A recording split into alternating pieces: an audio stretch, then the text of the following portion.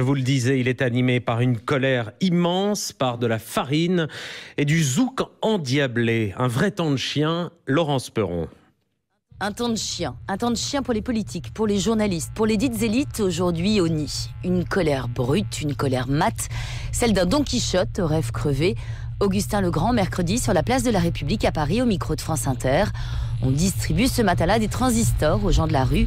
Il y a dix ans, lui, il plantait des tentes sur les pavés du canal Saint-Martin et les politiques lui promettaient des toits pour les sans-abri. Du foutage de gueule. Ça a été une promesse qui a été faite en disant on met un milliard d'euros sur la table en plus tout de suite maintenant. C'était Borloo à l'époque. Sarko, il passait, il a repris le milliard tout de suite. Et là, d'un seul coup, on est face à des politiques, puis on a des journalistes qui, sont des arbitres entre un politique qui va dire le budget a augmenté, puis un associatif qui va dire non, le budget a baissé. Et le politique qui va dire mes bandes de gauchos, c'est toutes les années la même chose.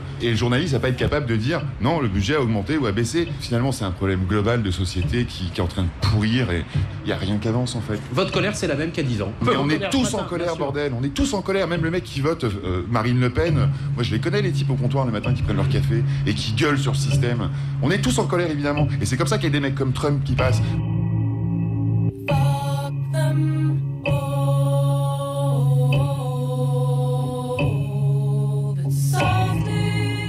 La colère du peuple, c'est encore les quasi 200 000 signatures recueillies par une pétition pour que la justice des gens s'applique aussi aux puissants.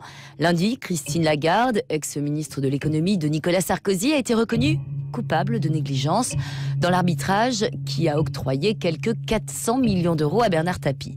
Négligence, et c'est tout. Qu'en rappellent les pétitionnaires, le 13 mai dernier, un SDF a été condamné à deux mois de prison ferme pour avoir volé du riz et des pâtes par nécessité.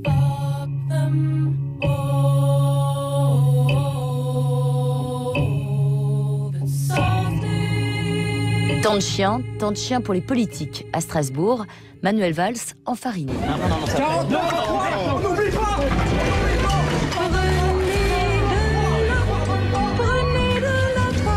Le 49-3, on n'oublie pas, lui, jette aussi à la figure le terroriste pâtissier.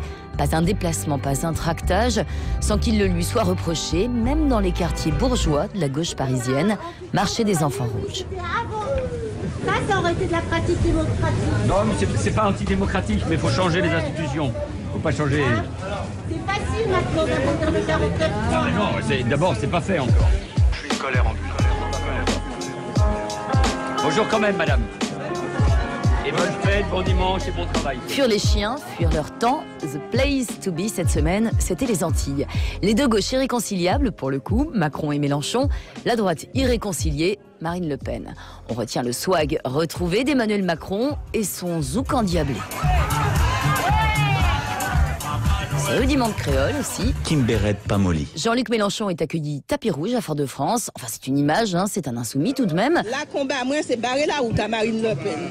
Barrer la route à Marine Le Pen, c'est vo- voter Mélenchon. À quelques encablures, en Guyane, elle est là, Marine Le Pen, passée maître dans l'art de l'esquive. Alors on vous critique, moi ça me paraît bizarre. Vous faites pas le même travail que votre papa.